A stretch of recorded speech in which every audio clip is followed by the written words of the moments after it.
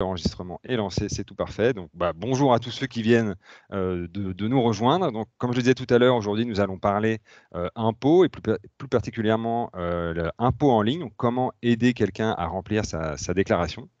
Et pour cela, bah, nous avons invité nos amis euh, du SPF Finance. effectivement, nous avons des, amis au SPF Finance. Donc, au passage, bonjour à, Aurélien et Aurore qui, participent aujourd'hui et qui vont donc vous présenter un ensemble de choses. Et euh, donc je précise d'ailleurs que ce webinaire, c'est le premier d'une série de deux. Hein. donc aujourd'hui, on va s'intéresser à comment aider à remplir la déclaration d'impôt en ligne, donc bien en amont avant que, tous les, portails de déclaration en ligne soient ouverts. Et en, mai, euh, le 9 mai, si je consulte mes notes, le 9 mai, on vous proposera un deuxième webinaire où là, bah, du coup, euh, on sera juste avant, au moment de, remplir la déclaration en ligne. On parcourra ensemble justement toutes les nouveautés qui, sont, euh, qui, qui, vont apparaître euh, dans, dans, ce formulaire de déclaration d'impôt en ligne pour cette année. Donc ça, ça sera un deuxième webinaire qui sera en mai. on répétera ça, on répétera l'info plusieurs fois aujourd'hui et on le remettra également dans le mail récapitulatif qu'on vous enverra à la suite, à la suite du webinaire d'aujourd'hui. Alors, avant de commencer, si j'arrive à bouger dans mes slides, je vous propose de parcourir rapidement l'agenda en fait, du jour. Donc, euh, moi, je vais cadrer rapidement euh, le, sujet euh, au tout début et je vais rapidement donner la parole donc, à, Aurélien et Aurore, donc, qui sont donc, les représentants du SPF Finance aujourd'hui et qui vont vous donner leur conseil d'experts. Cette, présentation, ça va durer une heure ou peut-être un peu plus d'une heure. Et à la suite de ça, moi, je vous présenterai certains modules 1, 2, 3 digits qui peuvent être intéressants dans le cadre d'accompagnement justement des personnes en difficulté sur le numérique. Et euh, une fois qu'on aura fait tout ça, euh, s'il nous reste du temps, je proposerai donc un petit tour de table où on parcourra euh, les questions qui se trouvent dans le chat pour essayer de vous donner une réponse en live à toutes ces questions. Alors, donc comme je le disais à l'instant, avant de donner la parole à Aurélien et Aurore, donc je vais juste recadrer un petit peu le sujet en fait, et vous expliquer bah, pourquoi on vous propose ce webinaire aujourd'hui. J'imagine que si vous connaissez un 2, 3 digits et que vous êtes arrivé jusqu'à ce webinaire, c'est que vous connaissez quelque chose à, la, fracture numérique. Donc, peut-être que je ne vous apprends pas grand-chose en, précisant que quand on parle de fracture numérique, bah, on distingue euh, trois niveaux. Hein. En général, on a les inégalités d'accès, les inégalités plutôt liées aux compétences et les inégalités euh, d'utilisation euh, des, services, des services essentiels. Et aujourd'hui, c'est vraiment ce, troisième point en fait qui nous intéresse. Hein. On sait que même en ayant euh, accès à du matériel connecté, euh, même en ayant des, compétences digitales, euh, on n'utilise pas tous les mêmes services essentiels en ligne. Et l'idée aujourd'hui, c'est de mettre bah, en lumière ce, service administratif, hein, les, impôts en ligne, afin de faire en sorte qu'un maximum de personnes puissent tirer avantage de ce service. Et l'idée, c'est que bah, en vous informant, vous, on espère toucher un, un, grand nombre de citoyens que vous vous accompagnez sur le terrain, en fait. Euh, donc, euh, je vais maintenant passer euh, la parole à Aurélien ou Aurore. D'ailleurs, je ne sais même pas exactement qui commence. Je vais donc stopper mon partage d'écran pour que vous puissiez partager le vôtre. et voilà. Et je vous invite maintenant à partager votre écran. Voilà, super. Merci Vincent. Avec plaisir. Voilà, merci. Super. Ah, bah, tout d'abord, bah, bonjour à, toutes et à tous. Euh, nous allons donc vous parler euh, des différents services en ligne qui sont mis à la disposition des contribuables euh, en relation avec leur déclaration d'impôt. Donc, nous allons parcourir bah, le, contenu de, ce webinaire. Donc, nous vous parlerons tout d'abord du portail MyMinFin qui reprend le dossier fiscal personnel des contribuables.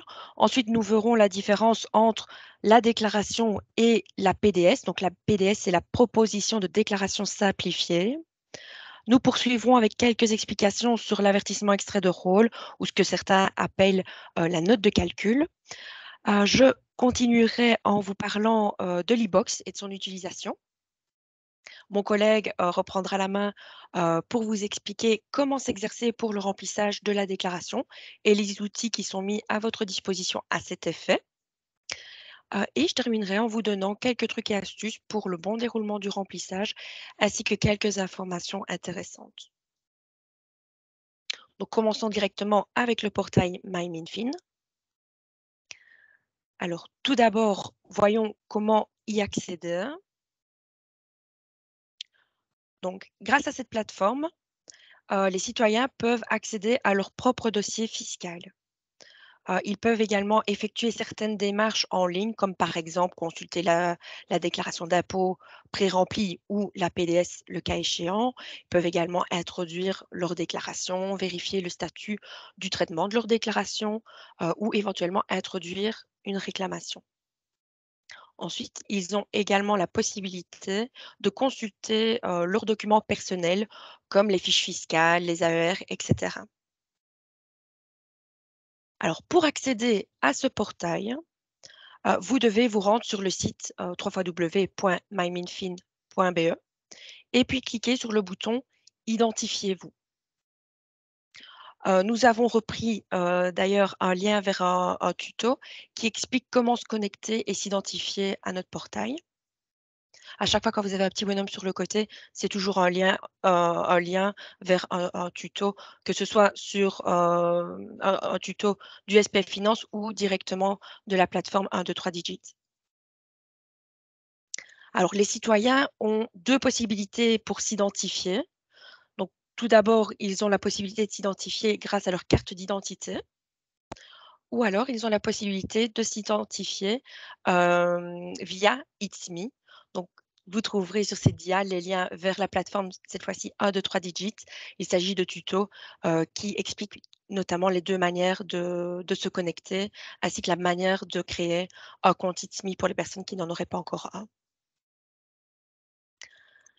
Si le citoyen a perdu ou oublié le code PIN de sa carte d'identité, que peut-il faire? Il doit euh, faire la demande d'un nouveau code auprès de sa commune mais cela peut prendre plusieurs semaines. Ça, il faut bien le garder en tête. Hein. Ça prend la plupart du temps trois, quatre semaines avant de recevoir le nouveau code PIN. maintenant, il faut bien savoir que le fait de ne pas avoir le code PIN de sa carte d'identité n'est pas un argument valable pour obtenir un délai supplémentaire pour la rentrée de la déclaration. Donc, nous vous conseillons de ne pas attendre avant de tester le code PIN de la carte d'identité, bah, de votre carte d'identité ou de la, carte d'identité de la personne que vous aidez, ou alors d'utiliser l'application It's Me. si vous souhaitez plus d'informations concernant l'obtention de nouveaux codes pour la carte d'identité, je vous invite à visiter le site du SPF Affaires intérieures dont on vous a remis le lien sur cette dia. Alors, quelles sont les fonctionnalités proposées sur cette fameuse plateforme MyMinFin? Alors, tout d'abord, si vous allez dans l'onglet Accueil, le citoyen a accès à son dossier fiscal et patrimonial. Euh, donc, il a vraiment accès à tout son dossier fiscal, donc tout ce, dont, au bout du compte, nous euh, sommes en, possession. Donc, en cliquant sur le bouton euh, Ma déclaration et mes impôts, un certain nombre de possibilités sont proposées aux citoyens. Il peut consulter sa déclaration, remplir sa déclaration ou encore introduire une réclamation, par exemple. De nouveau, nous vous avons mis des liens vers des tutos intéressants concernant ben, la déclaration via la plateforme et la consultation de la fameuse PDS, donc proposition de déclaration simplifiée. Donc, si vous cliquez sur ma déclaration ou ma PDS, le citoyen peut consulter l'état d'avancement du traitement de sa déclaration. Donc, si on regarde ici, donc on a rentré la déclaration, on va savoir si le contribuable a déjà rentré sa déclaration ou pas. Et s'il n'a pas encore rentré, il va avoir la possibilité de, la, la rentrée, justement, d'avoir accès à Taxon Web. Donc, une fois que la déclaration est rentrée, ici, il verra où on en est au niveau du traitement. Donc, si le traitement est toujours en cours ou si on a terminé de, traiter la demande et qu'elle a été enrôlée. Et évidemment, si un avertissement avec très drôle est disponible. Et puis enfin, euh, la dernière icône euh, indiquera au contribuable si un paiement ou un remboursement euh, va être effectué. Et si un remboursement doit être effectué, on mettra bah, le, numéro de compte sur lequel cela doit être fait. Et si, par exemple, c'est le contribuable qui doit obtenir un remboursement, on va noter la date à laquelle on va le rembourser et sur quel compte. Donc comme ça, il peut vérifier qu'on a bien le bon compte au niveau de l'administration. Comme déjà mentionné tout à l'heure, le citoyen peut introduire une réclamation et consulter l'état d'avancement de celle-ci directement via MyMinFin. Donc de nouveau, un petit tuto pour expliquer comment introduire cette fameuse réclamation. Le citoyen a la possibilité de modifier son numéro de compte lui-même dans la partie Mes paiements et remboursements. Donc, si par exemple, il a été dans l'onglet Accueil ma déclaration et qu'il a vu que le numéro de compte n'était pas le bon ou qu'il a vu directement sur son avertissement extrait de rôle, il peut aller le modifier lui-même via MyMinFin. De nouveau, un petit tuto. Toujours dans cet onglet Mes paiements et remboursements, le citoyen peut également effectuer directement le paiement en ligne d'une dette, donc comme par exemple le paiement de ses impôts. De nouveau, un petit tuto en lien pour expliquer comment faire ce paiement. Le citoyen pourra également demander un plan de paiement donc un plan d'appurement donc pour pouvoir payer sa dette en plusieurs fois directement via cette plateforme. Alors, toujours dans l'onglet Accueil, mais cette fois-ci dans la partie Mon habitation et mes biens immobiliers, le citoyen pourra consulter ses données immobilières, ses baux locatifs, éventuellement enregistrer un contrat de bail, le cas échéant, un tuto de nouveau est mis à votre disposition. Celui-ci explique comment procéder aux différentes démarches liées justement à l'immobilier. Donc, quand le, citoyen va consulter ses données immobilières, il va avoir accès à tous ses biens immobiliers en Belgique. Mais il va également pouvoir faire la demande de calcul du revenu cadastral pour un bien qui se situerait à l'étranger. Donc, juste pour votre info, depuis l'exercice passé, donc depuis l'année passée, le citoyen doit renseigner dans sa déclaration d'impôt le revenu cadastral de son habitation à l'étranger. Mais il doit préalablement en faire la demande à nos services pour qu'on puisse calculer ce fameux revenu cadastral. Et c'est via cet onglet qu'il pourra le faire. Dans l'onglet Mes interactions, il est possible de faire des demandes d'attestation, dont par exemple l'attestation de résidence fiscale. toujours dans mes interactions, le, citoyen a la possibilité de remplir un formulaire. ici, nous avons mis un lien vers un, deux, trois digits justement pour expliquer comment remplir un formulaire en ligne. Il est également possible de répondre aux courriers envoyés par l'administration fiscale directement via la plateforme. Euh, donc, cette fois-ci, dans mes interactions, et puis si on ouvre le menu de répondre à une lettre. Euh, il est d'ailleurs possible de télécharger un document. Euh, donc, si ils, doivent fournir, par exemple, c'est une demande de renseignement et on leur fournit des documents, ils peuvent directement les télécharger via la plateforme. Grâce à cela, le citoyen va pouvoir directement répondre à, tout courrier qui aurait été envoyé par l'administration fiscale. Il existe également une autre option pour pouvoir répondre euh, au courrier de manière digitale, mais cette fois-ci, c'est uniquement possible en cas de réception d'une lettre du SPF Finance qui fait explicitement référence à cette option. Dans ce cas-là, euh, donc, comme vous voyez sur l'ADIA, donc il y a trois petits points dans la dernière colonne. Euh, il faudra cliquer sur les trois petits points et aller sur euh, répondre au courrier. Mais a vraiment que dans ce cas-là qui pourra passer directement par cette option-là. Sinon, on revient à l'option précédente. Alors, quel est l'avantage de répondre directement au courrier en ligne? Eh bien, tout d'abord, les courriers sont disponibles en format électronique il y a également la possibilité d'enregistrer un projet de, réponse. Donc, par exemple, le contribuable peut commencer à rédiger sa réponse, sauvegarder le brouillon et puis y revenir par la suite. Et, puis, enfin, envoyer le courrier.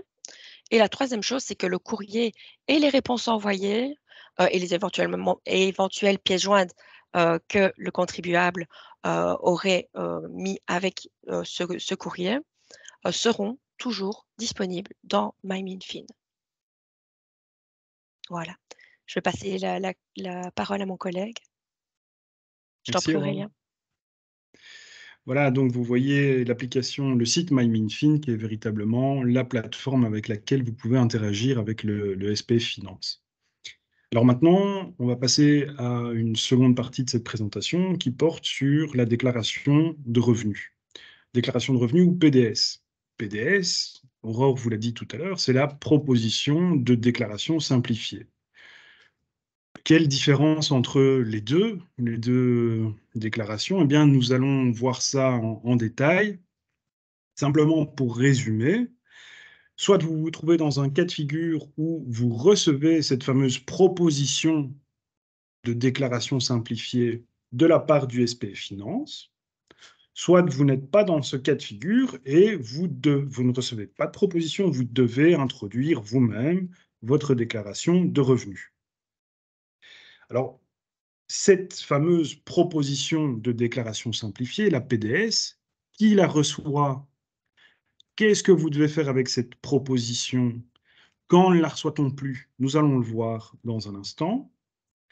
Concernant la déclaration classique de revenus, vous pouvez l'introduire soit en version papier, soit avec le site que ma collègue Aurore vous a présenté, le site MyMinFin, qui est le site du SPF Finance.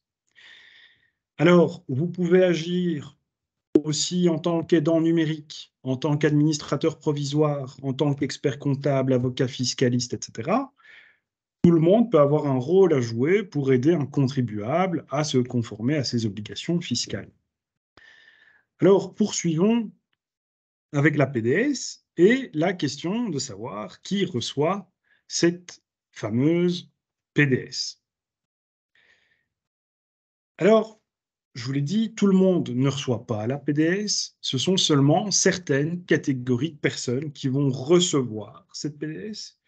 Et ces catégories de personnes vont être dispensées de l'obligation d'introduire la déclaration classique.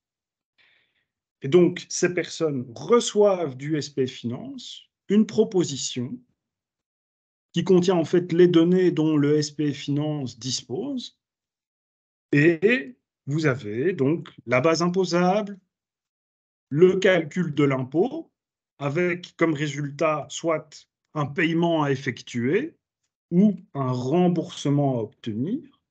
Et nous mentionnons également les autres informations et données dont il faut tenir compte pour le calcul d'impôt. Est-ce que vous êtes isolé? Est-ce que vous êtes marié? Est-ce que vous êtes cohabitant? Est-ce que vous avez des enfants? Etc. etc.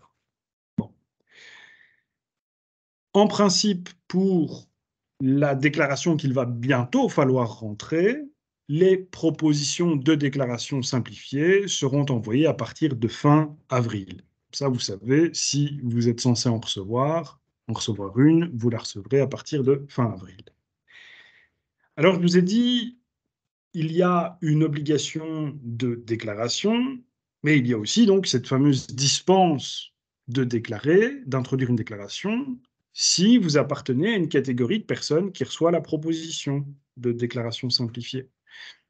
Et pour rentrer dans ces catégories de personnes dispensées d'introduire une déclaration et qui vont donc recevoir la proposition de déclaration, vous devez vous trouver dans un cas de figure où vous n'avez pas perçu d'autres revenus ou éléments que ceux qui sont déclarés ici, enfin que ceux qui apparaissent ici, qui sont listés ici, au cours de l'exercice précédent. Et donc, par exemple, si vous n'avez obtenu, perçu que des salaires ou une pension légale, une pension de survie, des allocations de chômage, bref, si votre déclaration contient en fait des éléments extrêmement simples, vous allez certainement recevoir une proposition de déclaration simplifiée. Alors ceci, le SPF Finance ne le fait pas euh, en choisissant l'une ou l'autre personne. Non, ça, ça relève d'une disposition légale. Vous voyez que ça relève de l'article 178, paragraphe 2 de l'arrêté royal d'exécution du Code d'impôt sur les revenus. Bref, retenez simplement que c'est quand vous êtes dans une situation extrêmement simple où vous recevez, vous percevez ce type de revenu ou que vous avez effectué par exemple un, petit don qui donne droit à une réduction d'impôt.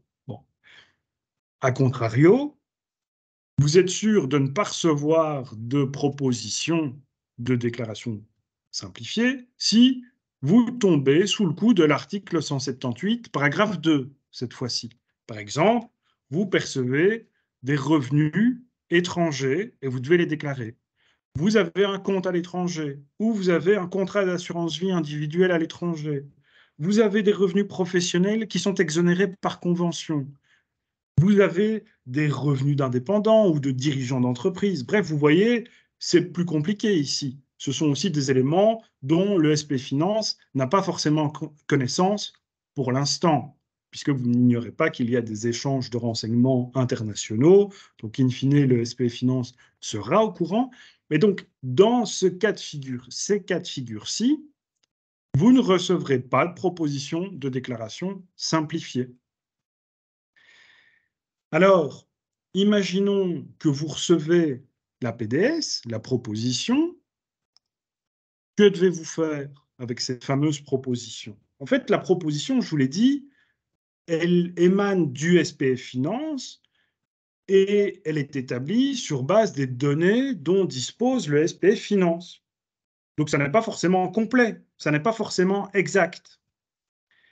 Donc vous devez toujours, toujours, toujours vérifier si les données sont exactes et s'il n'en manque pas. Et c'est à la fois une obligation parce que vous, n'ignorez pas que vous devez déclarer tous vos revenus, mais c'est aussi dans votre intérêt, dans l'hypothèse où vous auriez, par exemple, réalisé des dons déductibles. Je ne sais pas, imaginez que vous, vous donnez, euh, vous faites des dons à un hôpital, à l'association d'un hôpital et une association agréée. Bon, ben, ces dons sont déductibles. Bon, ben, c'est dans votre intérêt que ça apparaisse dans votre déclaration. Et il peut arriver qu'un organisme n'établissent pas une fiche par erreur, par oubli, que sais-je, où le lien n'est pas fait correctement avec votre identité.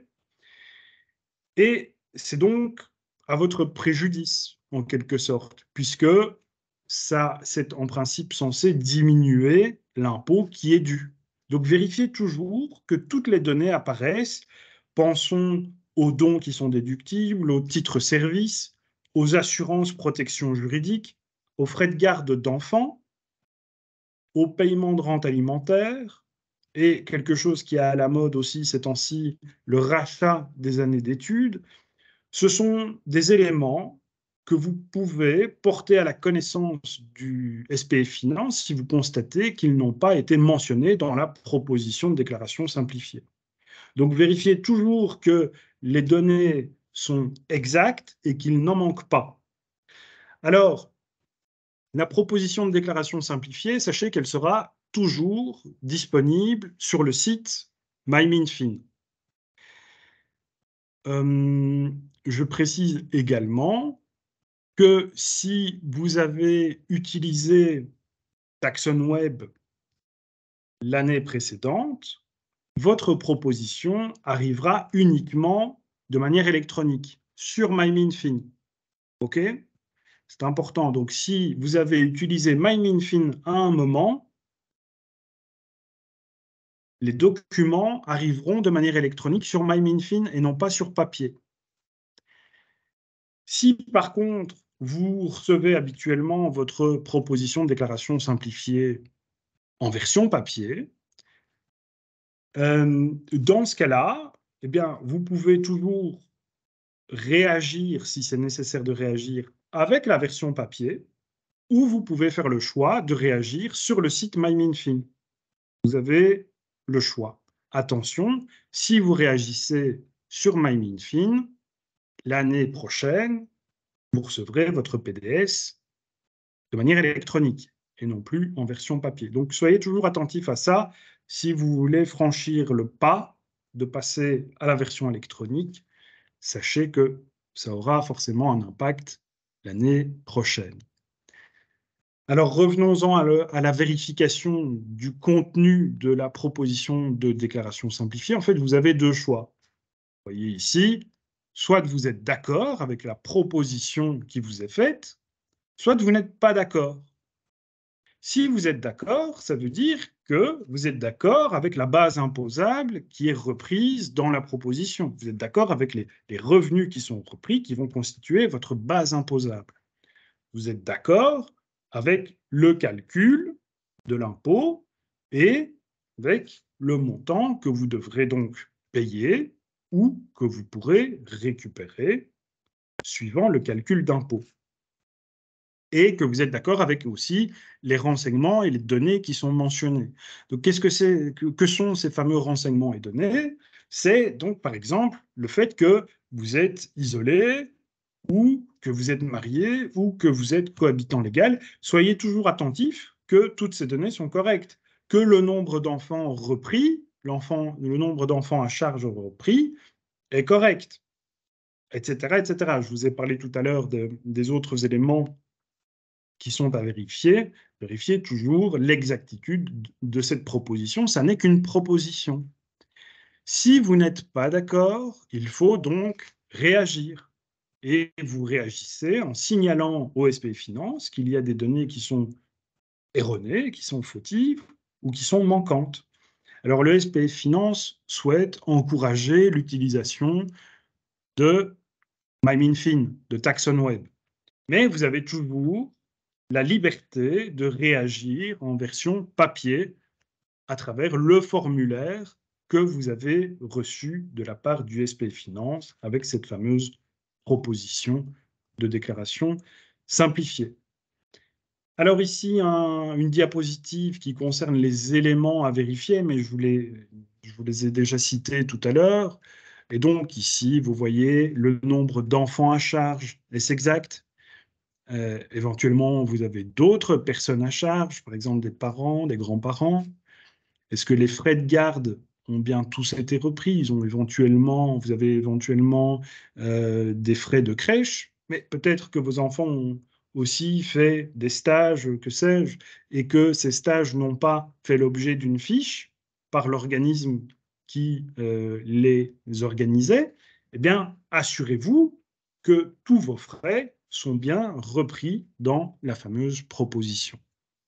Vous avez éventuellement aussi versé des pensions alimentaires, etc. Donc, vérifiez tous les éléments et n'oubliez pas que, en tant que contribuable, vous êtes toujours responsable du contenu et du contrôle de la proposition de déclaration simplifiée. Donc, vous ne pourrez pas prétexter du fait que le SP Finance m'a envoyé ce courrier, c'est le SP Finance qui est responsable. Non, nous vous faisons une proposition de déclaration sur base des données dont nous avons connaissance à ce moment-là, mais c'est à vous de déclarer si les éléments sont corrects ou inexacts ou s'il en manque. Alors maintenant, remplir la déclaration. Comment remplir la déclaration? Eh bien, ici, en tant que contribuable, vous pouvez donc vous-même remplir votre déclaration et vous avez deux possibilités soit en version papier, soit en ligne via MyMinFin, comme ma collègue Aurore vous l'a montré, sur le site TaxonWeb. Si vous rentrez une déclaration papier, sachez que les déclarations sont envoyées dans le courant du mois d'avril ou du mois de mai, et que si vous ne l'avez pas reçu, vous pouvez toujours solliciter le bureau de taxation au numéro qui apparaît ici. Alors ici aussi, attention, si vous ne receviez pas de déclaration papier, vous ne pourrez pas dire, écoutez, moi, si je n'ai pas rentré ma déclaration, c'est parce que le SPF Finance ne me l'a pas envoyé. Vous êtes responsable de réclamer, il vous appartient de réclamer votre déclaration. C'est comme ça, légalement, vous êtes responsable de réclamer votre déclaration si vous ne l'avez pas reçue. Alors en principe, le SPF Finance envoie bien euh, les déclarations à toutes les personnes qui ont toujours procédé en version papier. Mais si vous ne la recevez pas, sachez qu'il vous appartient de la réclamer. En tous les cas, vous avez que vous utilisiez la version papier ou non, vous avez toujours MyMinFin qui est disponible pour introduire votre déclaration. Et donc, dans MyMinFin, vous ouvrez TaxonWeb. Alors, TaxonWeb est disponible au moment de l'ouverture de la période de déclaration les données qui apparaissent dans, dans TaxonWeb, et nous allons euh, le voir, sont pré-remplies sur base des données dont le SPF Finance dispose. Un petit peu comme pour la proposition de déclaration simplifiée. C'est sur base des fiches qui sont établies par vos débiteurs de revenus, par les organismes qui doivent, qui doivent établir les différentes fiches. Donc toutes ces données dont nous disposons sont pré-remplies, mais là à nouveau, assurez-vous qu'elles sont bien complètes, qu'ils ne manquent pas, qu'elles sont bien exactes. Et nous allons voir maintenant quelles sont les dates et délais pour introduire votre déclaration. Sachez, euh, on en a parlé tout à l'heure, Vincent en a parlé tout à l'heure, le 9 mai, nous allons organiser un deuxième webinaire, un second webinaire, puisque ce sont deux webinaires au total qui sont prévus, et nous reparlerons de ces fameux délais. Alors, que ce soit pour les citoyens, mais aussi pour les mandataires, vous avez donc une possibilité d'introduire la déclaration soit en version papier, soit sur MyMinFin, mais les délais sont différents. Si vous introduisez une déclaration en version papier, le principe général veut que la déclaration doit être parvenue au SP Finance pour le 30 juin 2023, date limite. Vous devez l'avoir envoyé au plus tard le 30 juin 2023. Si vous voulez réagir une proposition de déclaration simplifiée, une PDS, hein, si vous constatez qu'il y a une erreur, qu'il manque quelque chose, etc., vous devez réagir, vous devez avoir réagi pour le 30 juin 2023 au plus tard.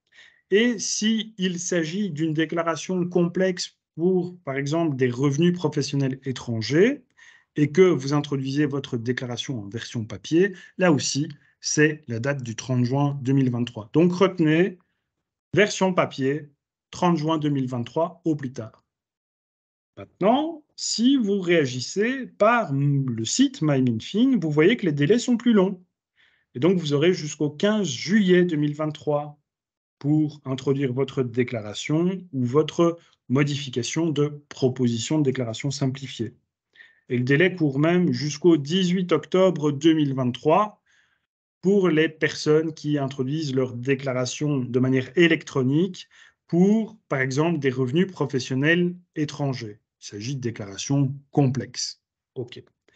Et puis, euh, une petite incise pour ce qui concerne les impositions forfaitaires mais ceci devrait en principe ne pas vous concerner. Euh, et ça concerne les, fleuristes, les cafetiers, etc. Et donc pour eux, le délai est fixé au 15 janvier 2024. Alors maintenant, on a vu, euh, donc si vous introduisez la déclaration par vous-même en tant que contribuable, maintenant vous pouvez aussi agir en tant qu'aidant numérique. Alors pouvez-vous aider le citoyen à remplir sa déclaration via TaxonWeb. Mais bien sûr, vous pouvez apporter une aide par euh, euh, l'explication du fonctionnement des outils qui sont mis à disposition par le SPF Finance. Donc, il y a bien sûr un rôle à jouer. Pouvez-vous remplir vous-même la déclaration du citoyen? Là, attention, soyez tout de même précautionneux. Euh, vous intervenez sans être titulaire d'un mandat, si vous intervenez en tant qu'aidant numérique. Alors au niveau fiscal, le contribuable sera responsable du contenu de sa déclaration.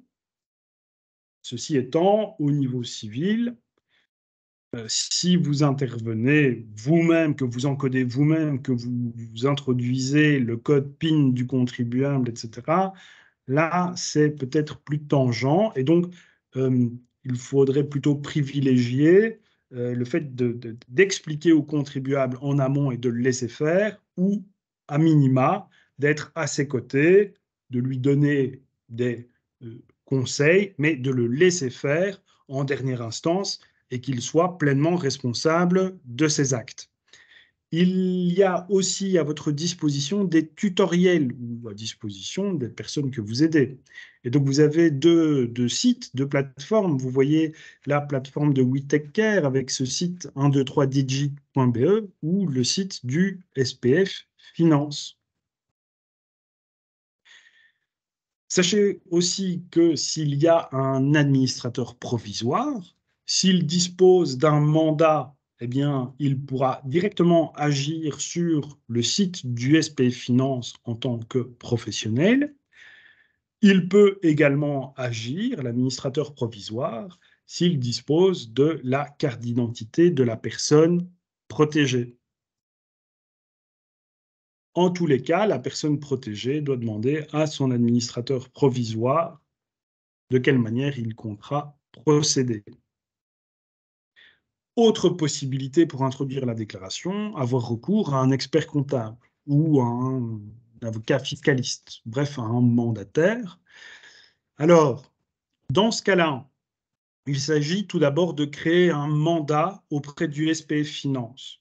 Ce mandat doit être signé par les deux parties, par le mandant d'une part et par le mandataire d'autre part.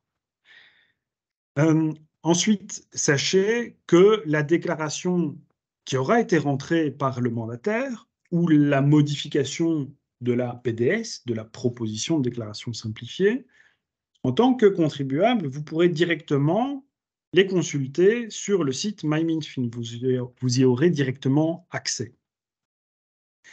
Et enfin, pour plus d'informations sur les modalités de recours à un mandataire pour introduire la déclaration, voici un lien que vous pourrez consulter par vous-même. Alors, on passe maintenant à euh, un aspect de, des déclarations de revenus un petit peu moins gaies. Euh, même beaucoup moins gai, ça concerne les personnes qui sont décédées. Malheureusement, ça fait partie de la vie et vous pouvez être confronté à l'obligation de devoir procéder à la déclaration de cette personne décédée. Vous pouvez aussi, en tant qu'aidant numérique, euh, soutenir des personnes qui doivent déclarer des revenus pour les personnes décédées. donc, nous allons maintenant examiner différents cas de figure parce que, bien évidemment, au niveau fiscal, la situation de chacun peut amener à avoir un traitement différent d'un point de vue technique. Alors, le premier cas de figure, c'est celui d'une personne isolée qui sera décédée.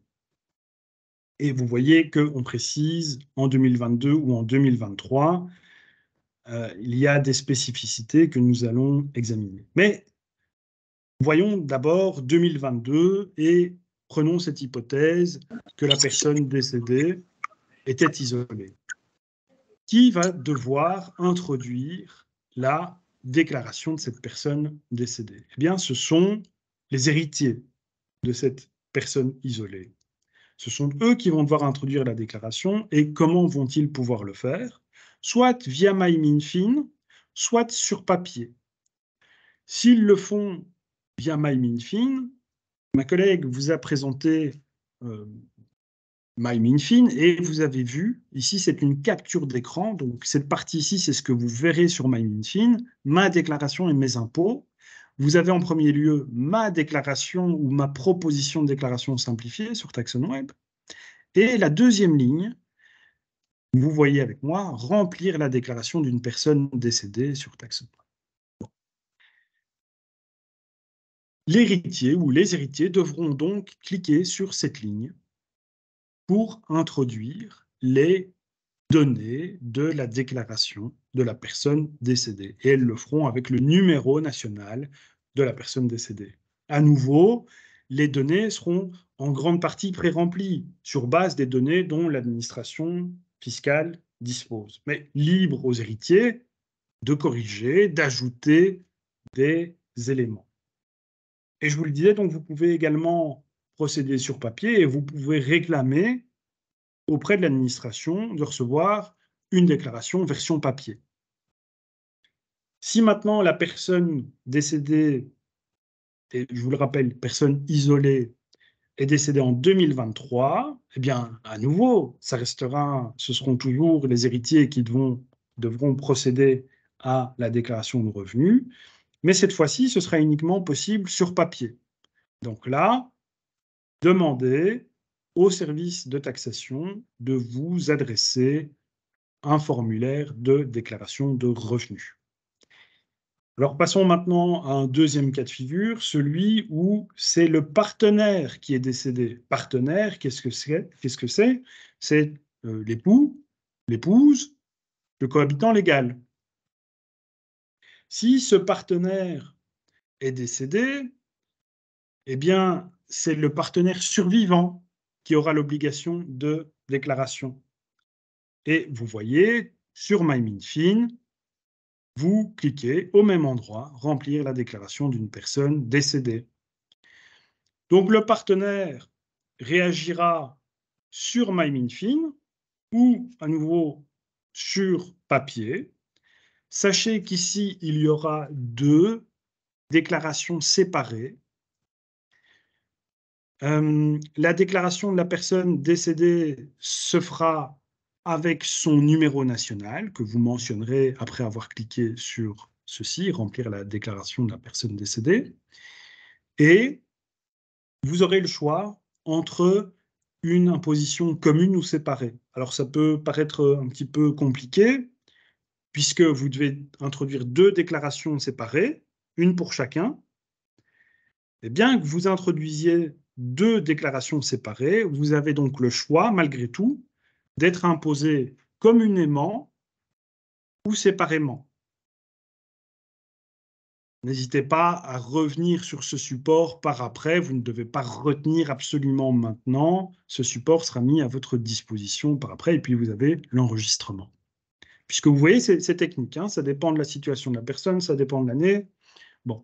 Passons maintenant à 2023. Pour ce partenaire décédé, c'est toujours le partenaire survivant sur qui repose l'obligation de déclaration. À nouveau, la déclaration se fera sur MyMinFin ou sur formulaire papier et il y aura ici une seule déclaration commune et la déclaration du partenaire survivant suffit, puisque vous n'ignorez pas que lorsque vous introduisez une déclaration commune, il faut toujours les signatures de, chacun des partenaires. Ici, naturellement, puisque un partenaire est décédé, ce sera le partenaire survivant qui signera.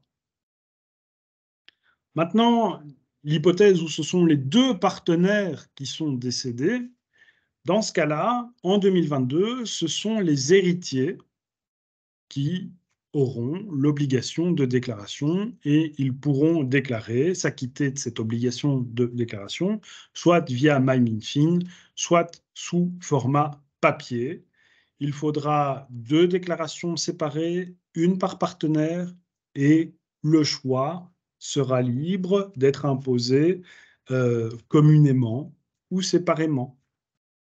En 2023, euh, pour les deux partenaires décédés, ce sont toujours les héritiers sur qui reposera l'obligation de déclaration. Et ici, ce sera possible uniquement au format papier.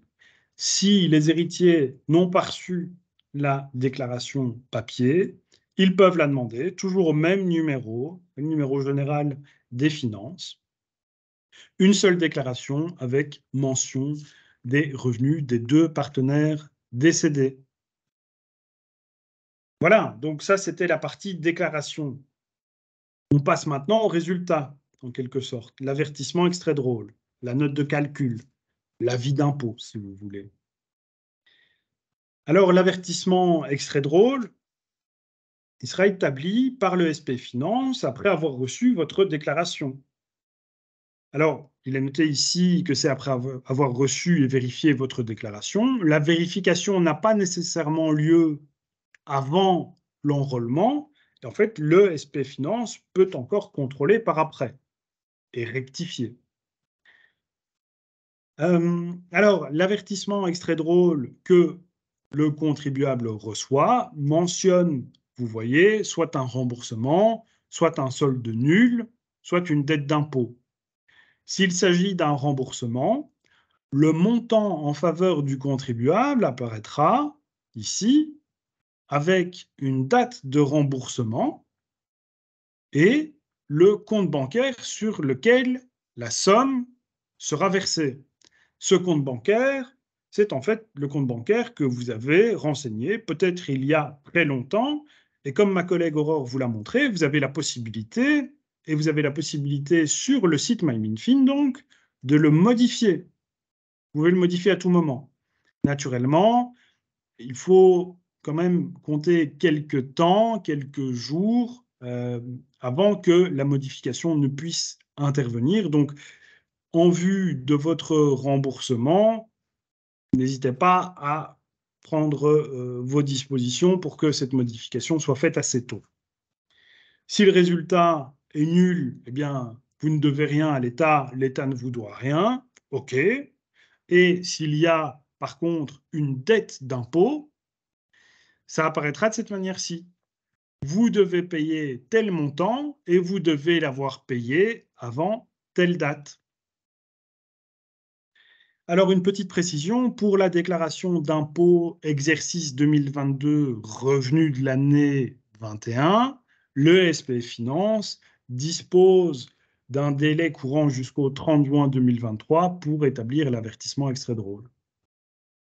Donc, si vous n'avez pas encore reçu votre avertissement extrait drôle, pour ce qui concerne l'année de revenu 21, pas d'inquiétude, le SP Finance peut l'établir jusqu'au 30 juin 2023. Euh, ah oui, encore un mot pour préciser que si vous avez une dette fiscale ici, ma collègue Aurore vous a montré tout à l'heure que vous aviez la possibilité de payer cette dette sur le site MyMinFin.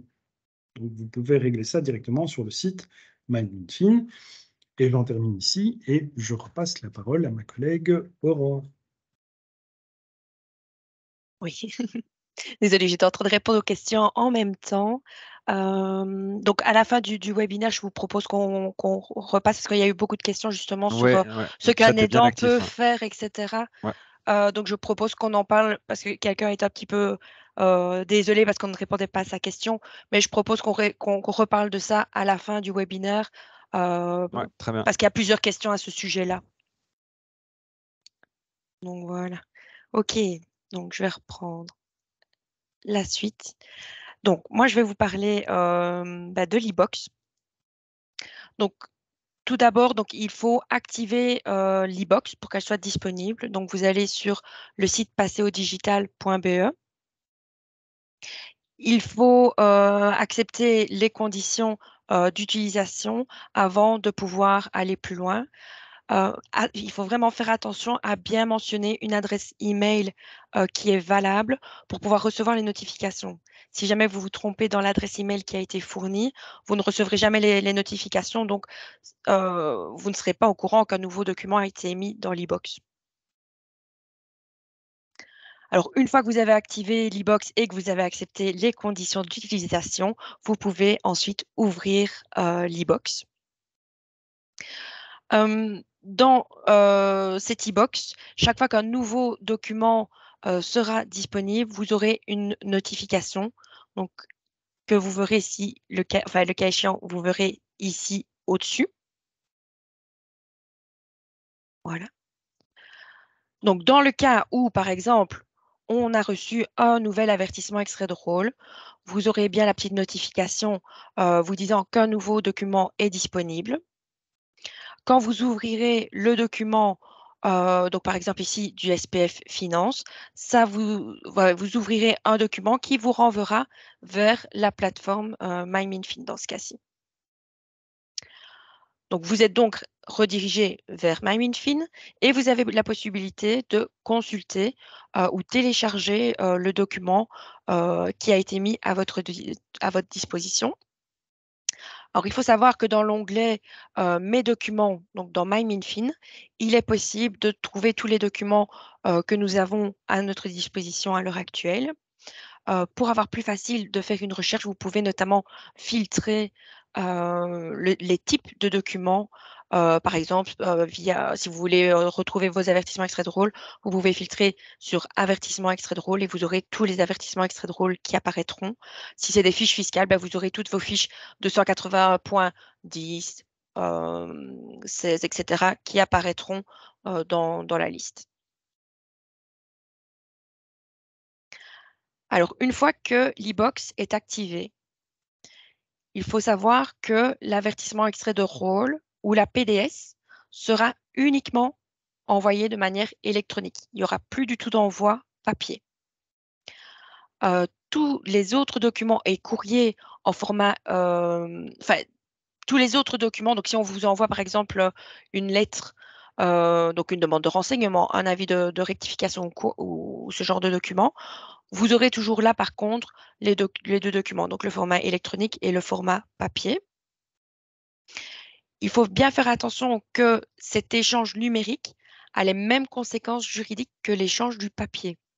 C'est-à-dire que quand on met à votre disposition un document dans l'e-box, on considère que vous l'avez reçu. OK? Alors, les documents d'autres services publics arriveront également euh, via l'e-box. Donc, une fois que vous activez l'e-box, il n'y a pas que les documents du SPF Finance qui vont arriver euh, dans cette e-box, vous aurez tous les autres documents euh, des administrations publiques.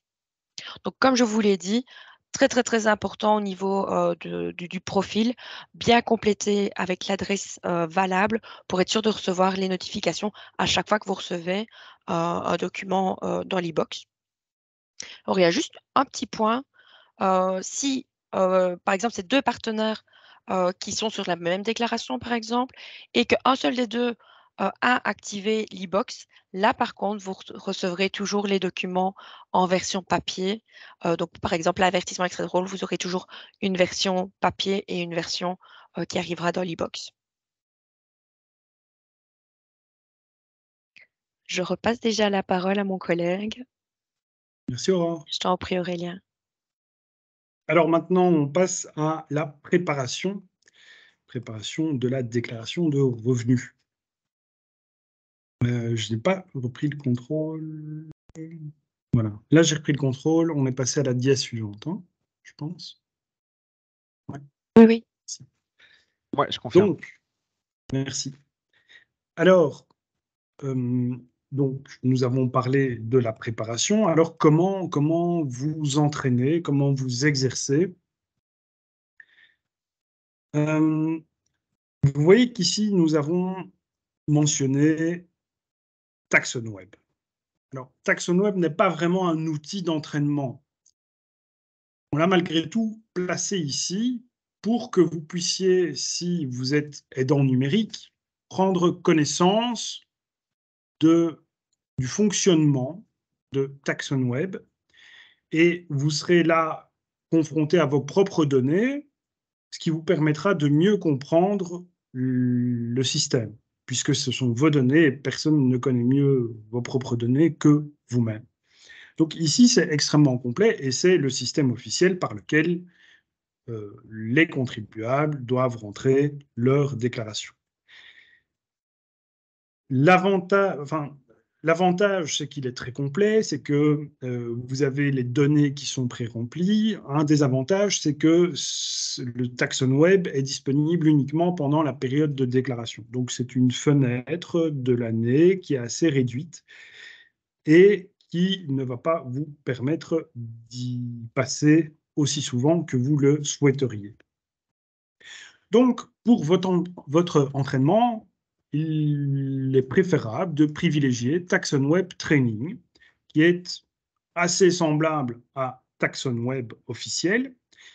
L'avantage est que c'est disponible toute l'année. Vous avez ici, par contre, une différence notable, c'est que les données ne sont pas pré-remplies. Pourquoi? Parce qu'en fait, vous allez créer un contribuable fictif. Et donc, nécessairement, il n'y a pas de lien avec vous ou avec un contribuable en particulier, les données ne sont pas pré-remplies. Les wizards, alors wizards, qu'est-ce que ça signifie? Ce sont en fait des systèmes d'aide euh, sur des passages peut-être un peu compliqués de la déclaration. Et ces wizards sont plus limités dans Taxon Web Training que dans le véritable Taxon Web. Il n'y a pas de lien vers les fiches fiscales nécessairement. Par contre, vous avez un, module de calcul qui pourra générer une simulation du calcul d'impôt sur base des données que vous avez encodées. ça, c'est intéressant pour savoir est-ce que vous aurez un impôt à payer ou un remboursement à percevoir. Ça, c'est le système Taxon Web Training et on va en reparler dans un instant. Je vous présente d'abord également TaxCalc, qui est un autre outil euh, proposé par le SP Finance, qui offre aussi l'avantage d'être disponible pendant toute l'année et qui est anonyme. Vous ne devez pas vous inscrire sur le site pour utiliser TaxCalc, à la différence de Taxon Web Training qui nécessite une inscription. Et puis, vous avez ce qu'on appelle deux applications. L'application Revenus étrangers et Ressources nettes. nous verrons ça également tout à l'heure et je vous propose d'enchaîner avec Taxon Web Training, qui est donc le premier outil dont je vous parlais. Taxon Web Training, vous voyez qu'on vous dit que c'est un clone, c'est sensiblement identique à Taxon Web, qui est le canal officiel par lequel vous, vous introduisez votre déclaration.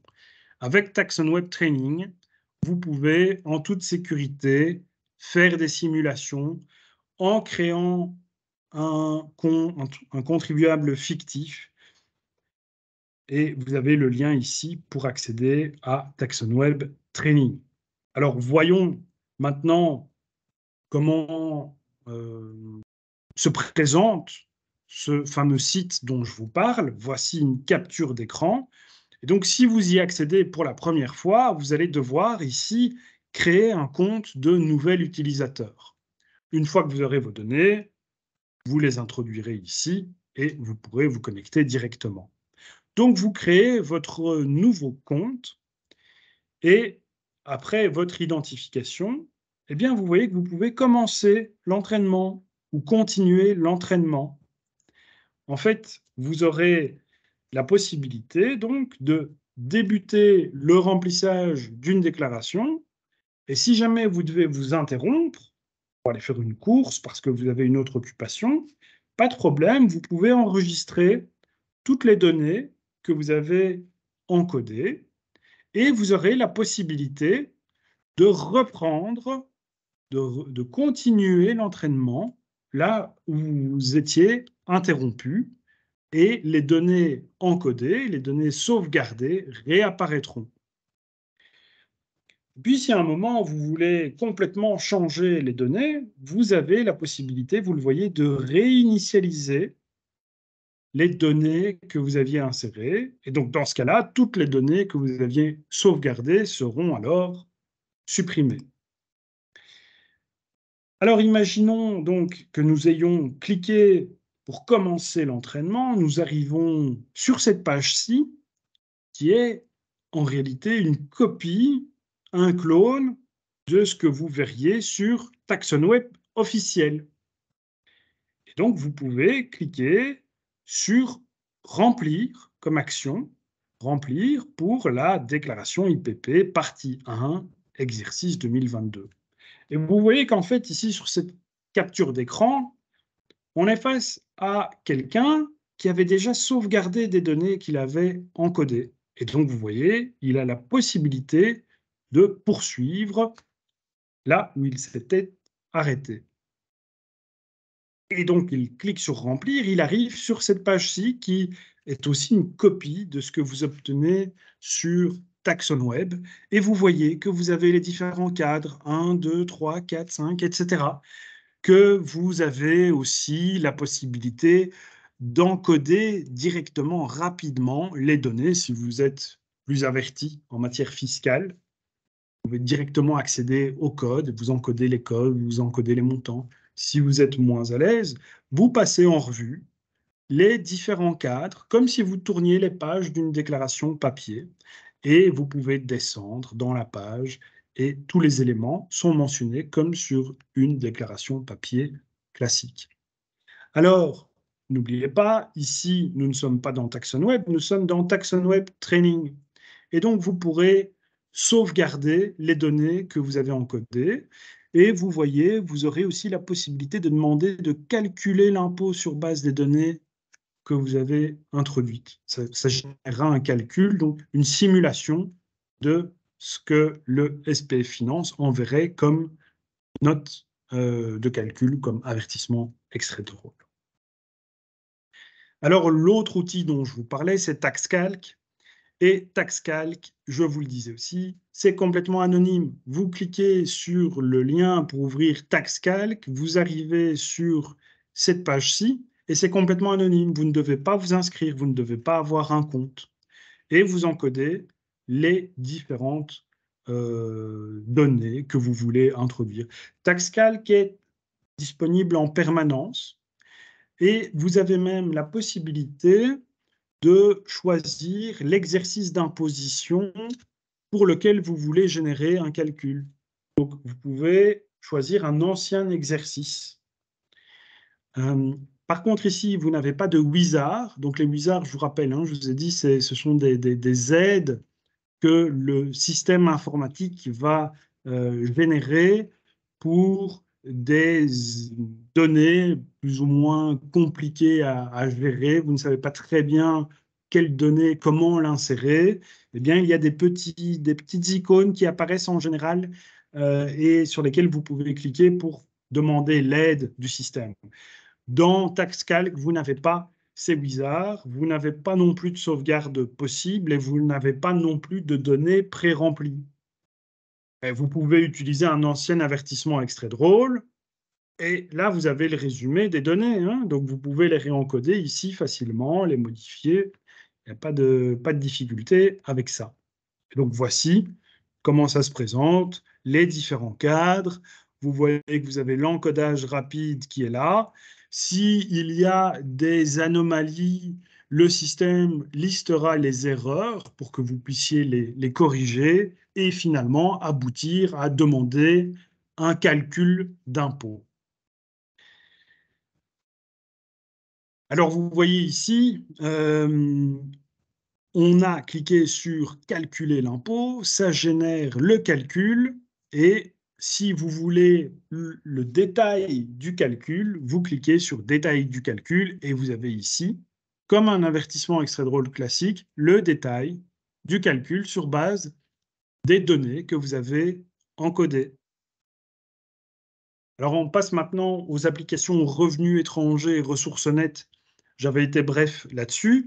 Euh, et je vais d'ailleurs euh, ne pas m'apesantir parce que le, temps avance, mais simplement, ce sont ici des outils utiles si, donc ici, je vous parle de l'application revenu étranger, c'est utile pour déterminer le pays ayant le pouvoir d'imposition. Donc, imaginez que vous ayez obtenu des revenus en Allemagne, vous voulez savoir est-ce l'Allemagne qui a le pouvoir d'imposition ou la Belgique?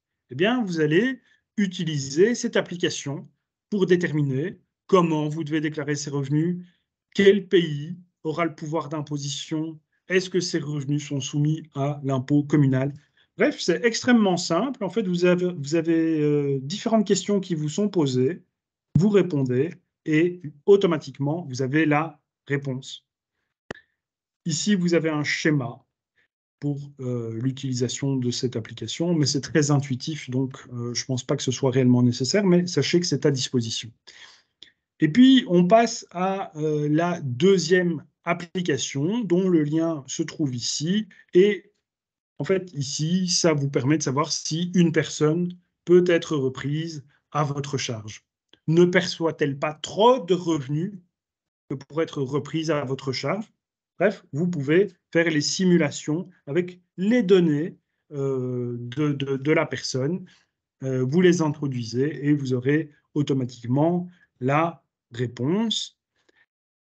Euh, à nouveau, le schéma pour l'utilisation de cette application et je repasse la parole à ma chère collègue Aurore. Voilà, je vais reprendre le contrôle. Donc, on va passer cette fois-ci à euh, une petite partie qu'on appelait trucs et astuces. Si mon PowerPoint veut bien fonctionner, OK. Donc, lors du remplissage de la déclaration, de quoi avez-vous besoin pour pouvoir le faire? Bah, Tout d'abord, bah, évidemment, de la carte d'identité euh, électronique de, euh, votre, de, la personne que vous aidez, avec évidemment son code PIN. Vous aurez besoin également des fiches de rémunération, donc les fiches récapitulatives qu'on reçoit toujours euh, vers le mois de mars, avril, mai, quelque part par là. Maintenant, il faut savoir qu'elles sont disponibles dans la plateforme euh, MyMinFin, donc euh, dans l'onglet Mes documents. si la personne est pensionnée, ben, vous, aurez droit, vous aurez besoin de ces fiches de pension. De nouveau, ces fiches sont disponibles dans MyMinFin ou éventuellement sur mypension.be. Vous aurez également besoin de tout ce qui est attestation de dons, frais de garde d'enfants, emprunt hypothécaire. Mais je ne vous cache rien, de nouveau, la plupart du temps, c'est disponible dans MyMinFin.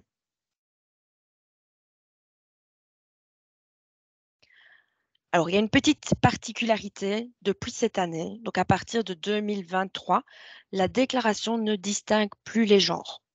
Donc, vous saviez, avant, quand vous aviez une déclaration, vous avez monsieur qui était à gauche, madame à droite. Sauf si c'est un, couple de même sexe, on avait le plus âgé à gauche, le plus jeune à droite.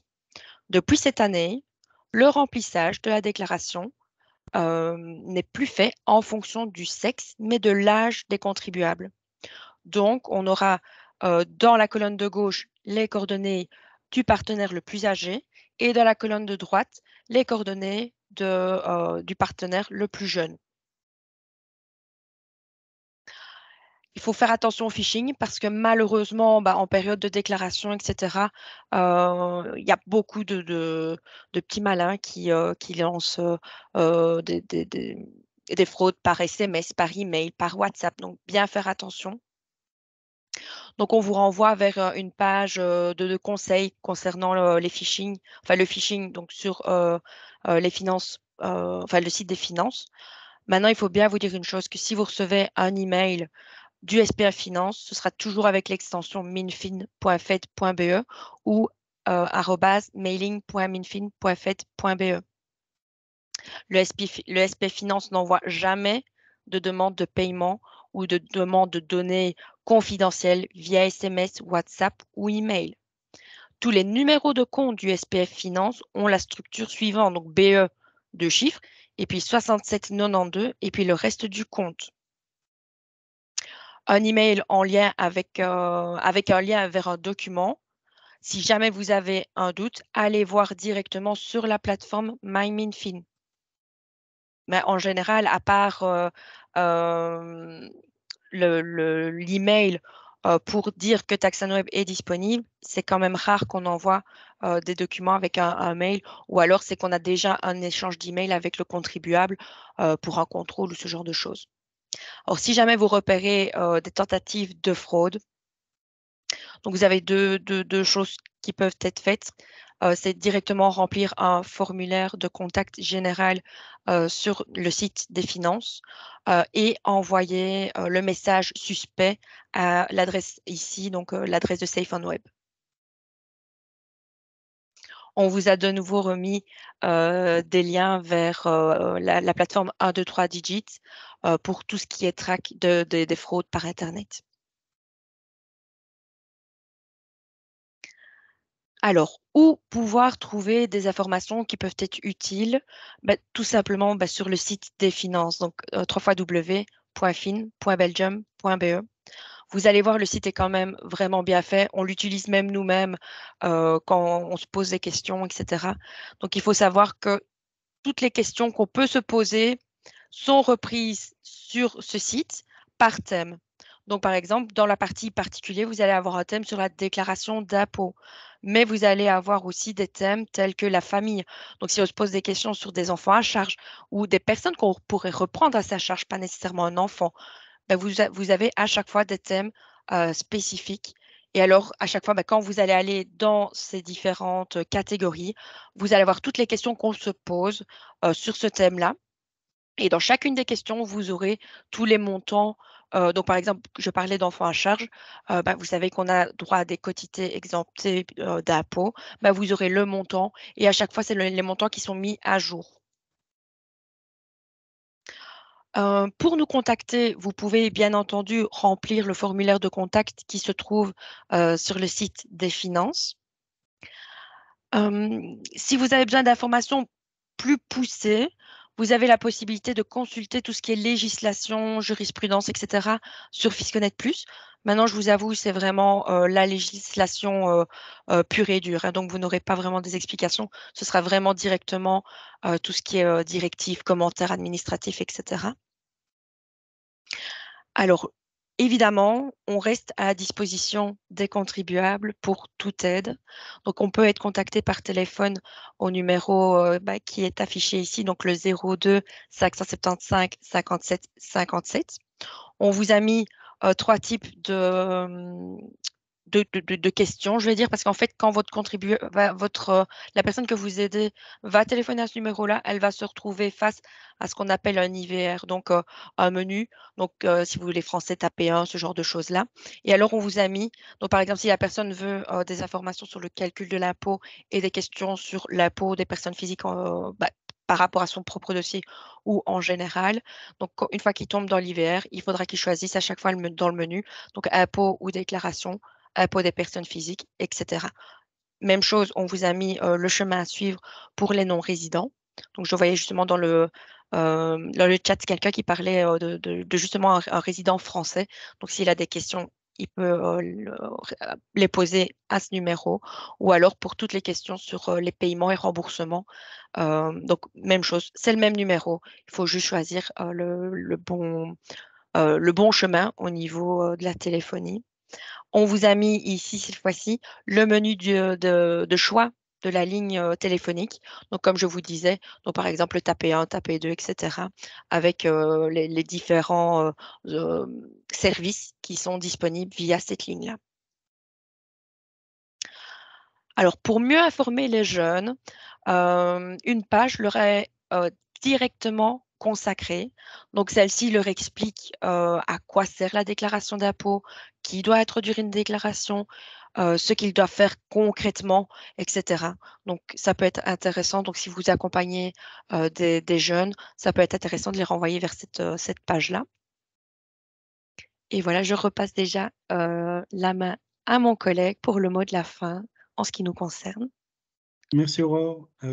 Alors, plusieurs intervenants nous signalent qu'il y a une erreur dans le numéro de téléphone tel qu'il est renseigné dans la diapositive. Donc, nous allons, merci, nous allons corriger l'erreur.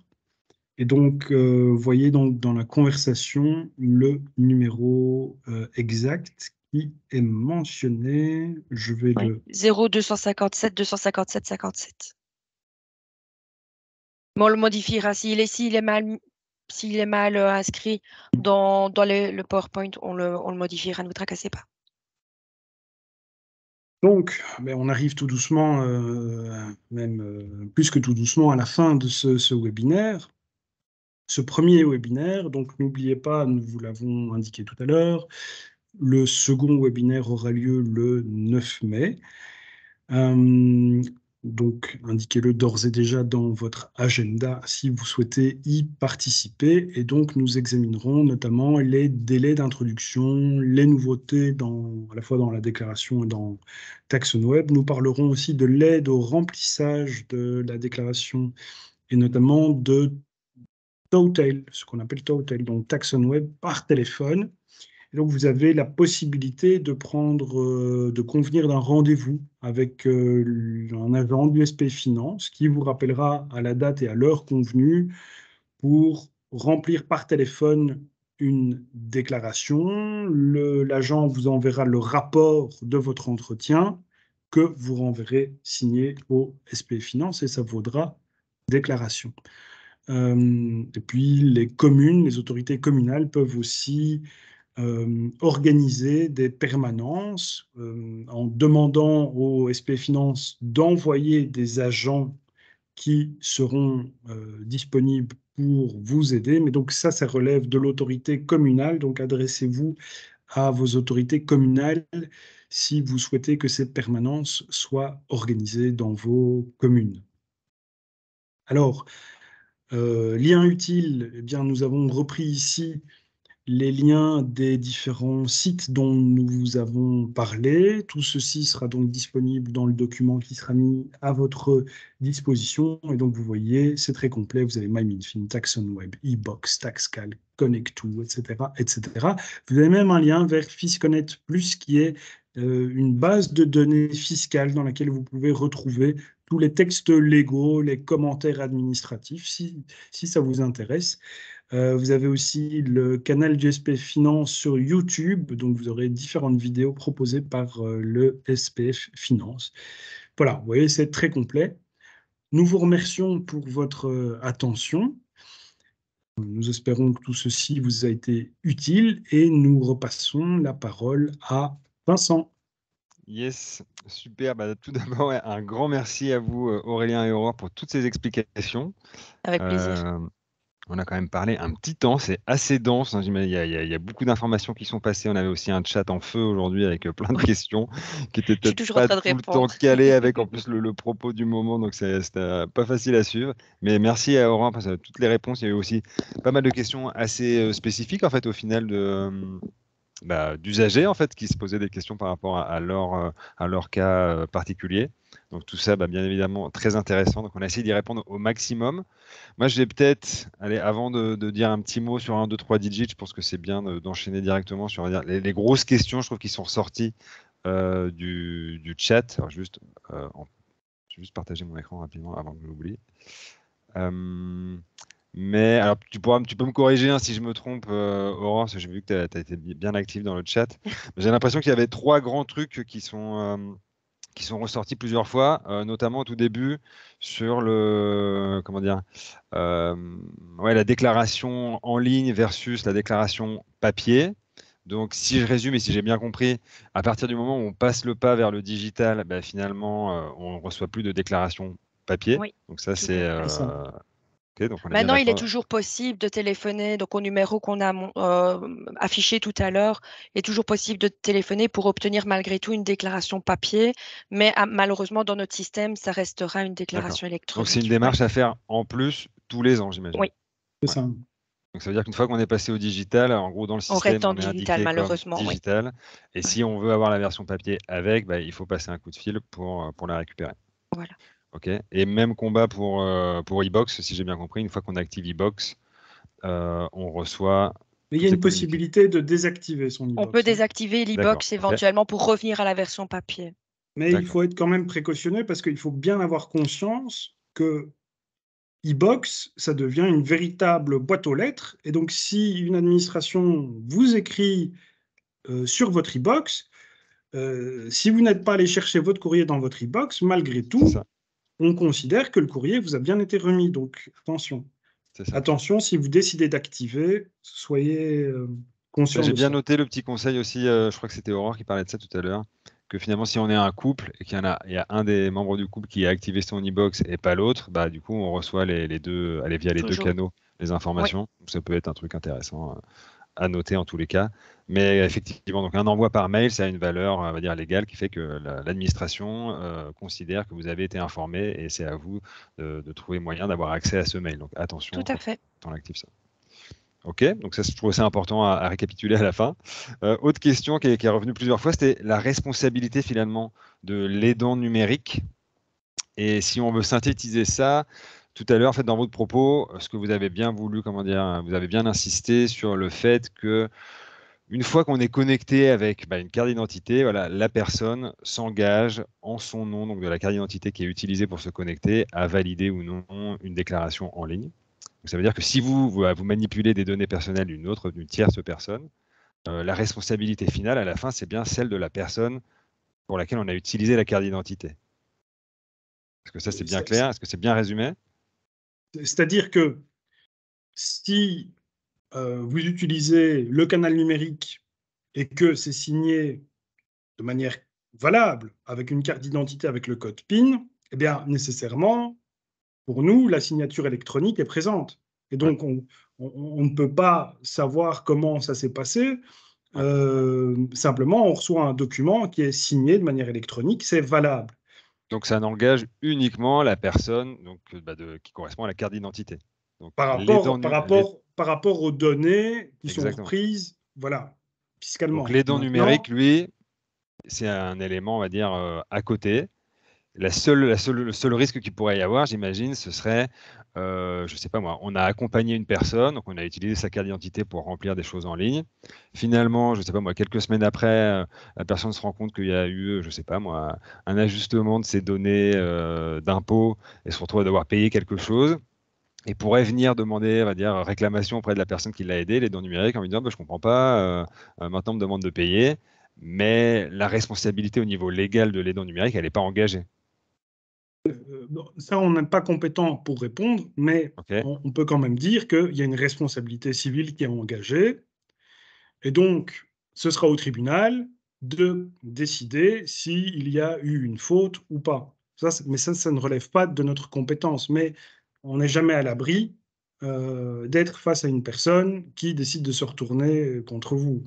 Ok, D'où l'intérêt, alors euh, peut-être euh, Thomas, corrige-moi si je me trompe, mais en Belgique, il n'y a pas, on va de, cadre juridique comme ça qui, protège euh, un aidant numérique. Mais ce qui peut être fait, ça peut être un papier qui a une valeur, on va dire, d'accord, un peu tacite que vous pouvez passer avec la personne que vous accompagnez. Et déjà, si en amont, vous précisez clairement, bah voilà, il y a un cadre, moi je veux bien vous aider, mais je n'engage pas, on va dire, ma responsabilité euh, civique ou légale, je ne sais, pas exactement comment l'appeler, mais ça met déjà un, premier, un premier cadre euh, dans la relation que vous allez avoir avec la personne, et ça peut permettre d'anticiper certaines choses. Mais ça, c'est une démarche à faire au niveau euh, bah, de la structure dans laquelle vous travaillez, j'imagine. Est-ce que Thomas, tu voulais rajouter un truc? Je, peux, je confirme ce que, ce que tu dis. Un, animateur d'un EPN, espace public numérique, euh, n'a aujourd'hui, et ce sont des choses qui, euh, qui sont en train d'évoluer euh, à des rythmes différents en Flandre, à Bruxelles et, en Wallonie, n'a en tout cas un animateur numérique, un, aidant numérique, n'a aujourd'hui pas cette, cette reconnaissance cette, autorité aussi d'accompagner des, personnes. C'est un service proposé, parfois gratuitement, la plupart du temps gratuitement, parfois pour un euro symbolique, mais il n'y a pas de, reconnaissance juridique. Euh, ce ne sont pas des personnes qui sont, euh, qui sont toujours formées à ça. Euh, on, travaille là-dessus pour justement donner, donner un cadre. Et il existe soit des, mandats, je crois que ça c'est le plus simple, c'est de dire je donne mandat, mais ça veut dire que l'aidant numérique doit aussi euh, euh, bien vouloir prendre cette responsabilité. Une autre formule, c'est une décharge en disant je demande à telle personne de m'aider, mais je la décharge de toute responsabilité, puisque je garde en tant que citoyen ou citoyenne la responsabilité finale de ce qui se passe. Et, sinon, une des ça, Ça, c'est une mesure que vous pouvez prendre en amont. C'est ça, tout à fait. Et, et sinon, n'oubliez pas, et, c'était, c'était bien présenté dans, dans, les slides du, du, SPF Finance, il existe des, des services d'aide proposés par le SPF Finance pour, pour, pour justement répondre à des questions trop pointues. Un aidant numérique n'est pas on ne peut pas attendre de lui ou d'elle de connaître tous les détails par rapport à la case numéro 1518 ou le, voilà, telle, telle ou telle application dans, ou tel cadre dans, dans, le taxon web. Posez la question à un expert et ça vous évitera des, ennuis légaux ou de, de, tomber dans aussi c'est bien que tu rappelles ça. Surtout qu'on on répond à, votre, à vos questions euh, via le, numéro de téléphone qu'on vous a donné. Euh, donc, on répond euh, tous, les, tous les jours ouvrables de 9h à 17h sans interruption. et vous tombez directement sur des agents taxateurs donc, qui, qui pourront répondre à toutes vos questions. Donc, ne pas hésiter. Donc, en cas de doute, voilà, pas hésiter à faire appel à ces services-là. Et après, petit rappel, hein, comme le disait Thomas à l'instant, euh, quand, on aide quelqu'un, on est aussi en droit de poser certaines limites. Hein. c'est à vous de, limiter, on va dire, le cadre bah, de, votre intervention. Si vous vous dites, bon, bah là, moi, je trouve que ça m'engage trop et je me sens pas à l'aise, eh bien, euh, bah, vous avez le droit de le faire. et ça, c'est important quand même, euh, important à rappeler. Et il y a une nuance que, que, que, j'aimerais souligner, c'est la nuance entre faire pour euh, et faire avec. C'est que si vous faites pour, ben, la personne n'est pas maître de, de, des actions qui se passent euh, en ligne. Par contre, si vous faites avec, vous faites un pas de recul et vous l'aidez, par exemple, à, euh, à se connecter, vous aidez éventuellement à retrouver des informations euh, à différents endroits, mais c'est la personne, c'est le citoyen, la citoyenne qui a, euh, qui a la responsabilité finale. Vous êtes là juste en, en, backup, c'est un conseil qu'on peut vous donner. Euh, et on donne ce webinaire maintenant courant mai aussi suffisamment à temps pour que vous puissiez vis-à-vis de, vos, apprenants, des personnes que vous accompagnez, prendre aussi tout, faire toutes les démarches euh, anticipatives, donner les formations sur comment installer ITSMI, comment remplir un formulaire en ligne, euh, sensibiliser à la sécurité en ligne, euh, toutes ces, toutes ces choses-là pour que d'ici juin, période classique où tout le monde remplit sa déclaration, les personnes puissent le faire en autonomie ou semi-autonomie euh, avec votre aide. Super, merci Thomas. Et peut-être dernière chose, il y a eu plusieurs questions euh, liées, on va dire, à tout ce qui est aide euh, proposée par le SPF Finance. Alors je répète, hein, vous l'avez vu tout à l'heure, je crois que c'était Aurélien qui, les parcourait. Mais donc il y, a, tout un slide où tout est, tout est résumé. Euh, depuis voilà, le, rendez-vous par téléphone, euh, voilà, diverses, diverses possibilités qui, sont proposées par, par, le SPF Finance. J'ai trouvé ça intéressant. À un moment donné, peut-être qu'on peut en dire un petit mot en plus, mais si j'ai bien compris, en passant par la commune, on peut organiser des permanences où un agent du SPF Finance se déplace dans une commune pour aider des gens. Comment, ça, se passe concrètement pour organiser ça? En fait, c'est le bourgmestre qui doit s'adresser au SPF Finance pour demander au SP Finance d'envoyer des agents et qui tiendront une permanence. Donc techniquement, en tant que, je ne sais pas si on est aidant numérique dans un, dans un espace public numérique, on essaie de rentrer en contact avec le, bourgmestre de la commune. Oui. Pour lui je sais bien qu'on a déjà été, euh, parce que euh, sur la, région de, du Luxembourg, etc., on ne va pas que dans des, des communes. Des fois, c'est dans des EPN. Donc, euh, D'accord. Excellent. Et puis, il y a aussi des, c'est quoi C'est dans des supermarchés, hein, Aurore Il y a aussi des. Mais ça, c'est plus sur Bruxelles. Hein. c'est plus sur Bruxelles. Localement, disons, il y a, des, des, des, points où euh, il y aura des permanences qui seront organisées. Avec des... Mais ça, toutes les infos seront sur notre site. par radio aussi. Mais tout ça, on en parlera le 9 mai. Tout à fait, oui. Mais d'où l'intérêt aussi, je trouve, bah, d'en parler finalement aujourd'hui, parce que là, on est largement euh, en amont hein, de, cette euh, déclaration. Et donc, si on veut bah, organiser ce type d'événement dans, sa commune, c'est peut-être maintenant qu'il faut commencer à se poser la question et contacter euh, les bonnes personnes. bourgmestre. Yes. Bah, du coup, on a dépassé l'heure. J'ai juste montré rapidement quelques slides pour ceux qui ne connaissent pas quand même la plateforme 1, 2, 3 digits. Donc on en a, parlé plusieurs fois aujourd'hui, mais dessus vous allez retrouver typiquement euh, un ensemble de, bah, de contenus pédagogiques qui vont vous permettre d'accompagner des personnes en difficulté. Donc si vous êtes aidant numérique ou un, acteur social de terrain qui accompagne bah, des, personnes et vous vous rendez compte que, les gens que vous accompagnez ont des difficultés sur le numérique, vous pouvez utiliser cette plateforme aussi bien dans le cadre d'un atelier, on va dire, un peu formel, organisé euh, dans une classe, on va dire, ou alors euh, en individuel, ou même laisser la personne en autonomie consulter les, contenus. Il faut simplement créer un compte sur la plateforme. Et dessus, vous allez retrouver euh, des, contenus qui traitent, on va dire, des compétences numériques de base, hein, depuis la, prise en main d'un PC ou d'un téléphone jusqu'à Internet, le mail, comment se connecter justement à des services administratifs en ligne et ce genre de choses. Ce qui permet de d'acquérir les, compétences de base pour, se débrouiller ensuite sur Internet et éventuellement remplir une déclaration euh, d'impôt en ligne. Euh, donc, si je traverse rapidement les, catégories de contenu qui nous intéressent aujourd'hui, donc on a les compétences de base, la sécurité en ligne et l'administration en ligne. Euh, on vous partagera le lien soit dans le chat, soit par mail vers la plateforme. Euh, et typiquement, ce que vous allez retrouver, peut-être une particularité des contenus 1, 2, 3 digits, c'est que vous allez avoir énormément euh, de, d'environnements simulés dans lesquels on va pouvoir s'entraîner euh, bah, dans, des, dans, des, petits jeux, dans des petites situations où bah, on n'engage pas, on va dire, son propre mail On n'a pas besoin même d'avoir accès à, une boîte mail. On s'entraîne directement dans un environnement simulé, ce qui est rassurant. quand on se trompe, c'est pas grave. Il y a du feedback instantané et ce genre de choses. Donc, ça permet finalement de s'entraîner de manière euh, ludique et pratique. Euh, donc ça, c'est le petit plus, on va dire, 1, 2, 3 digits. Euh, et si on rentre un peu plus en détail avec les modules qui correspondent, on va dire, au sujet du jour, donc on en a un en particulier sur les clés numériques, euh, CSAM. Donc on a évoqué hein, tout à l'heure euh, le, point d'entrée de toute l'histoire qu'on a parlé aujourd'hui, c'est quand même la connexion au service MyMiFin ou la déclaration Tax on Web. Et pour ça, vous allez avoir besoin justement de, bah, de, prouver votre identité en fait quand vous vous connectez en ligne, et ça passe par ces fameuses clés numériques. Donc soit on va utiliser le lecteur EID avec euh, sa carte, euh, sa carte d'identité, ou alors on a l'option également It's Me.